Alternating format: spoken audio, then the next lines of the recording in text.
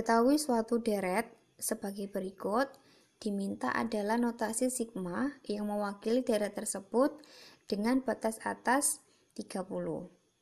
Pertama, kita tentukan polanya terlebih dahulu.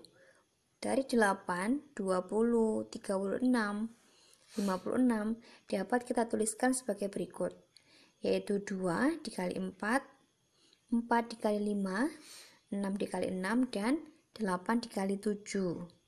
Dari sini kita tuliskan masing-masing pengalinya. Untuk 2, 4, 6, dan 8 nilai beda adalah 2. Sedangkan untuk 4, 5, 6, dan 7 beda adalah 1. Dari sini kita masukkan rumus suku ke n-nya.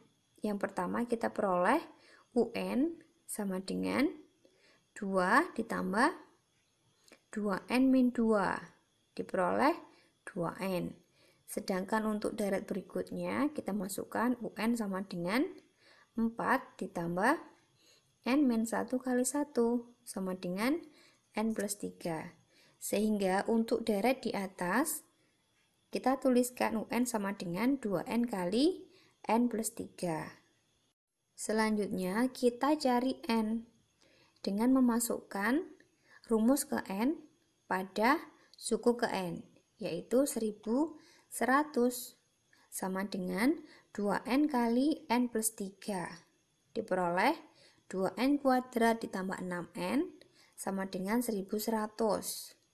2N kuadrat ditambah 6N dikurangi 1100 sama dengan 0.